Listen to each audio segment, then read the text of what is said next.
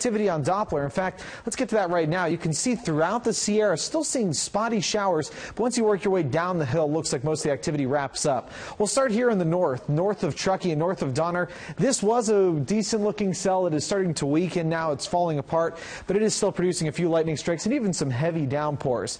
In the south, uh, towards South Lake Tahoe, this was the cell that was bringing some rain to the airport. That's now shifted off to the northeast, still producing some lightning and even some heavy showers. And I expect that we'll continue to see at least a few showers as we head through the afternoon today, maybe even another thunderstorm in there. But notice how the valley is going to remain clear through all of this. So let's advance through to about 3:30. Some lingering showers here, including some that have worked off the south end of the lake. But then as we head into the overnight, it looks like most of the activity will wrap up. And we're going to be watching this marine layer really starting to deepen.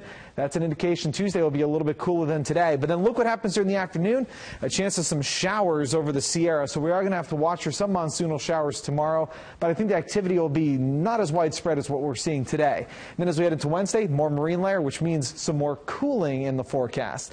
For today up in the Sierra, mainly along the crest and to the east, we're expecting just a few lingering showers. Otherwise, I expect most locations like Pollock Pines, Arnold, Yosemite done with the rain for today. Same goes to the foothills, although we do have to leave the chance of rain in there. 96 in Placerville today, 99 degrees in Jackson. I think Jackson, Sonora, and Angels Camp will remain dry today now. 67 degrees in San Francisco, plenty of marine layer along the coastline, 83 degrees in Napa. San Joaquin Valley looking at temperatures in the mid to upper 90s, around 97 in Modesto, 98 degrees in Turlock.